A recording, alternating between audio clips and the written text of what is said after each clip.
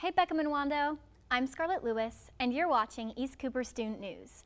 On today's show, we'll introduce you to a girl who's breaking stereotypes in the workshop and turning her CAS class into a career. Plus, get an inside look at what training is like for the JROTC, including all the obstacles and fitness tests.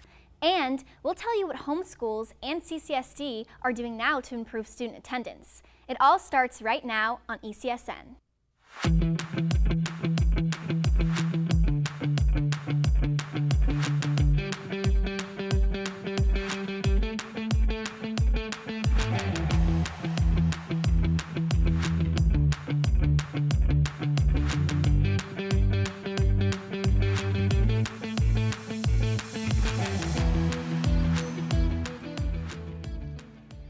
Watching ECSN. March is Women's History Month. Women's History Month celebrates the contributions and achievements of women throughout history. It illuminates the important yet often overlooked roles women have played in shaping societies, cultures, politics, sciences, arts, and many other areas. In honor of this, we wanted to kick off our show highlighting some of the amazing women in our East Cooper community. ECSN reporter Lucy Huss introduces us to a girl who is thriving in a male-dominated field. Over at the East Cooper Automotive Building, students are able to learn and practice all the skills needed to be successful in the auto mechanic industry. But one student in particular is defying all gender roles. With her purple goggles, Wando Jr. Audrey Rankin sets herself apart from the boys in her class. She is one of two girls in her Intro to Auto Tech class. Mr. Streets brought up that if you don't want to like share glasses or share gloves, like you can bring your own. I definitely think that that is something that sets me apart from them. Originally involved in engineering, Audrey switched to auto tech and realized this is something she wants to do as a career. I was doing engineering at the CAS and then my guidance counselor brought up auto tech and thought that it would be something interesting and more fun to be more hands-on. I took the intro to auto tech just to be um, to see if this is something that I want to do in the future and it's definitely something that I'll look into further. The semester is halfway over and being in a room full of boys hasn't scared her one bit. Audrey takes inspiration from women who are just like her which keep her going? Honestly, just being in such a male dominated career in and of itself, seeing women, not only me, but other women being more integrated into these careers is definitely a big part of my inspiration. In the long run, Audrey hopes to be someone girls like her can look up to. But for now, putting herself out there and getting involved in class is taking her a step closer to achieving her goals. I definitely hope that I can create a career in this and become an inspiration for younger girls. When I first started this semester, I was really scared that I wasn't going to know anybody and that it was going to be really awkward, but definitely putting myself out there and not being afraid to ask questions and being myself is definitely a big part of this. Audrey is working hard to set an example for girls like her that are also interested in the automotive industry. Great job, Audrey. Reporting for ECSN, I'm Lucy Hess. Back to you, Scarlett. Thanks, Lucy. In honor of Women's History Month, that story you just saw was produced entirely by girls. A lot of students in auto tech are passionate about cars, and ECSN reporter Andrew Peterwright tells us more about how Mount Pleasant is welcoming car enthusiasts to town each weekend. Daru Barham spends her Saturdays at Mount Pleasant Town Center, but not for the shopping. They also want other people to relate to and talk to, and you know, talk about the same interest, which is cars. And on Saturday mornings, you'll see more of these kinds of cars in the town center parking lot instead of the sedans and family SUVs that most people use to get from point A to point B. I think people usually tend to focus on cars just to, you know, get one place to another, and they don't really care to put on much effort to make it look nice or, you know, get a good model. But not here. At Cars and Coffee, each Saturday, people like Drew take the time to meet with similar minded people and show off all kinds of different cars. People usually bring their cars if they have cool cars that they want to show to other people, and the other people just look around. I'm interested in cars because it really is like a community on itself, and you get to work with both mechanics and also like just accessorizing your car, so it's like putting both things together. For the car enthusiasts, Cars and Coffee isn't just about admiring cool cars, it's about the community they belong to and support. Reporting for ECSN, I'm Andrew Peterite. Thanks, Andrew. If you want to check out Cars and Coffee, it's every Saturday at Town Center from 8 to 11. It's no secret that teenagers like cars, especially driving them. Getting a license is a huge rite of passage for a high school student, but with it comes big responsibilities. Earlier this month, Wando hosted people from the southeastern chapter of the National Safety Council, Mount Pleasant PD, and State Farm Insurance to educate students on the dangers of distracted driving. The South Carolina Department of Public Safety says every 90 minutes a teenager is involved in a deadly crash. And the National Safety Council says that more teenagers that are in a car at one time, the more likely a teen driver will be involved in a deadly crash. Officials say that's why they held the driving event. Part of the driving event was educating students about how traffic stops work, as well as traffic control devices. For the past few weeks, the Wando PAC has been really busy. Students put on their spring musical, which was Mean Girls. For Wando, a spring musical is nothing new, but this one was different because it was theater teacher Mr. Moser's first musical as Wando's theater teacher, and he says it was a huge success.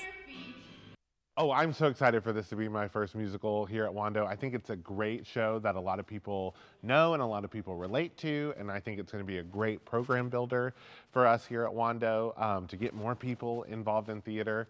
Um, but overall, I think this show is just a lot of fun and it shares a lot of joy. And overall, it's got a really great message because even though this is, a, you know, a show based on a movie that came out 20 years ago, the same things still apply today, especially when it comes with high schoolers and mean girls. This year, the theater department put on three big shows, The Crucible, Puffs, and Mean Girls. The writer of Mean Girls the musical, Tina Fey, labored over crafting this play, and many can agree that writing is art, and artificial intelligence is starting to make its way into the art world. With artificial intelligence writing essays, scripts, and music, will the lines start to blur between human-created art and AI-generated material? I wanted to see if students would be able to tell the difference between artificial intelligence and human creation. Okay, so I have some lyrics here. Some have been written using AI, more specifically ChatGPT, and some have been written by real people and are from actual songs. Cool. And you're okay. gonna have to guess which is which, okay? Okay, all right, sounds good. Here are the first two lyrics. I want you to be happy, free to run, get dizzy on caffeine, funny friends that make you laugh, and maybe you're just a little bit dappy. Here's the second lyric. Windows down, music up, cruising through the town, Feeling alive with the wind blowing around, laughter fills the air, joy in every sound. Okay, I'm thinking the first one is the first one's AI and the second one is real. I feel like the first one, like the dappy, I feel like a real person yeah. wouldn't write that. yeah. Yeah. Okay. The first one's AI. Mm-hmm. And the second one is a real song. Well, you're wrong. So the Are first one, the first one is a song called "Youth" by Glass Animals, and the second one was oh actually AI. Gosh. Yeah. Okay. So here's the second pair of lyrics. Okay. Mm -hmm. Underneath the city lights, in the rush of the crowd, there's a secret spot where our love's allowed. In the chaos of the world, we find our space in this sacred place. Second lyric. This will be the best day of my life. Flying faster, fading out of sight, all it took was you to show me how. The world's on fire, but nothing can stop me now. Okay, I'm thinking the first one's real and the second one's AI because I feel like I've heard that in a song, like the first one. Okay, the first one is real. The second one's AI. Um, I think the first one's fake. Well, you haven't heard it in a song because Are it is AI. Stop yeah. it. You're actually right. Yeah. The first one is fake and the second one is a song called Nothing's Alright by Witch Gang. Now, this is the last pair of lyrics. Okay. Let's see if you can get this one right. Okay. Through the highs and lows, we'll stand side by side. In your eyes, all my fears subside. With every whisper, you soothe my doubts away. In your love, I find my strength to stay. Okay. And then, moments fleeting, we're just train cars passing. The way you slip through my fingers, cold ice glaciers, never lasting. First one's real, second one's AI. First one's real and the second one's AI. Um, I think the first one's fake. Good. You're actually right. The first one was fake. Oh for three. oh my god. All wrong. Are you the first one is okay. AI, and the second one is this a song is not, called This is not my favorite game. Right My Wrongs by Kamari. So, what do you think about that, that you couldn't tell the difference? I think that I'm going to start listening to AI. I'm going to start listening to AI music. Looks like we were two for nine. AI actually might be taking over the world. I'm Scarlett Lewis, reporting for ECSN. In the classroom, teachers are using more and more virtual platforms like Canvas. Artificial intelligence is also creeping into the classroom. making school content more accessible to students than ever before. But nationwide, schools are seeing an attendance drop off. ECSN reporter Maria Francesca Picone is telling us how Charleston County and its homeschools are handling the issue. Dropping attendance rates are a growing problem across the county, and Charleston County is no different. According to the Post and Courier Superintendent Anita Huggins, says more than 20% of Charleston County students are chronically absent. Nationwide in 2015, more than 7 million kids were chronically absent. That number has doubled. In 2022, almost 15 million students were chronically absent. In South Carolina, the Department of Education considers a student chronically absent if they miss 18 or, 18 or more days regardless if the absences are excused or not. Wando principal Mr. Coker says that he's been trying to create an inclusive environment to help more kids enjoy the school day. One thing we plan to do is exactly what I just uh, said before is just in, in improve the overall student life and student engagement, right? Mm-hmm. Uh, we're looking at doing various different uh, incentives for next year, um, looking at doing something we call ballet classes that we're kind of working on. Um, different committees right now with and trying to uh, formulate what that's going to look like. But my big passion is focusing on the whole student life here at Wando High School. So finding ways to get you involved, to get you excited about coming to school, at different events for you to excited to come in school about, and uh, anything that we can offer here to make uh, student life uh, uh more uh, appealing to students to do that. So. Superintendent Huggins says that CCSD has made some changes to help their attendance. So far, the chronic absentee rate has dropped 1% since 2022. Reporting in the newsroom, I'm Maria Francesca Picone. Thanks, Maria. Here at ECSN, we think going to class is important. Here's a little jingle that might get stuck in your head, but it might also keep you in class.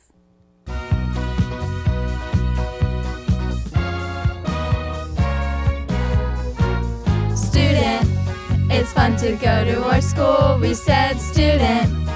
Learning is super cool, and your teachers just want to see you succeed. There's no need to be unhappy when you're at school. It's fun to stay in school. Please go to class, don't go to Chick fil A. Just go to class.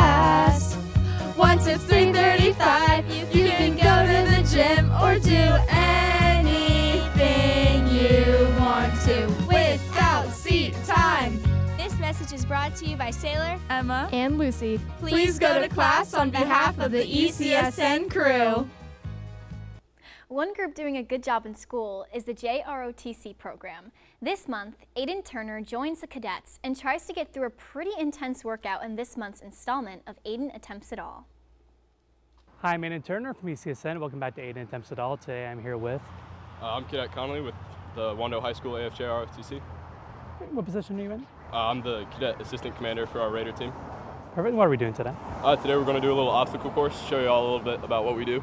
Uh, so we're going to start over here with the jugs. We're going to run a little ways down that way. We're going to pick up a log. We're going to run down to those backpacks down there. We're going to run back with the backpacks. We're going to pick up the jugs and then we're going to finish back here. Perfect. Get started.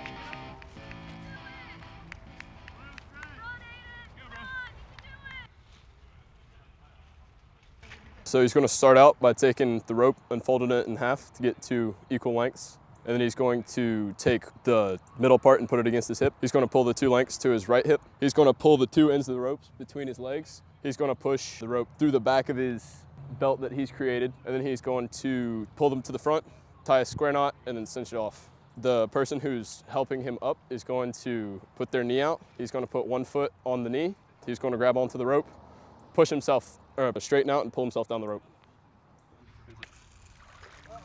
Like all of our events are probably my favorite thing out of the whole unit. Like we get to go to uh, Goose Creek, Fort Dorchester.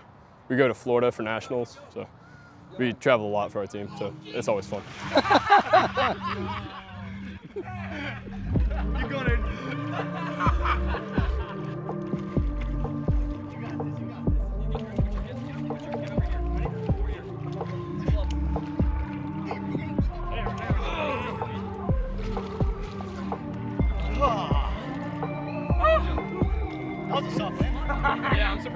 Yeah, we didn't get soaked.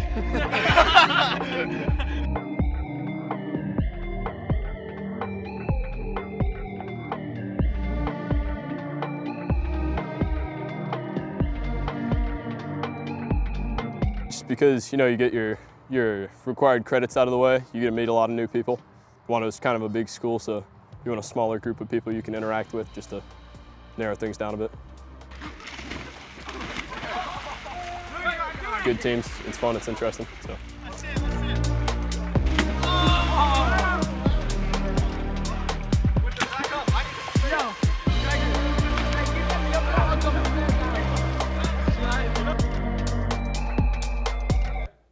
There's going to be a fundraiser pickleball tournament at the Park West Gym on April 13th from 10 a.m. to 1 p.m. The deadline to sign up is April 6th. It costs $15 per person, and you can have teams of up to four people. But if you want to know what you're playing for, while the winners will get a trophy, the real reason for the tournament is to raise money for the MUSC Children's Hospital. That's all for our show today. If you're interested in joining our staff, scan the QR code on your screen. ECSN is looking for people interested in anchoring, videography, editing, graphics production, sports production, and more. If you have any questions, come see Mr. Fabiano in the TV studio L118. I'm Scarlett Lewis, signing off for ECSN.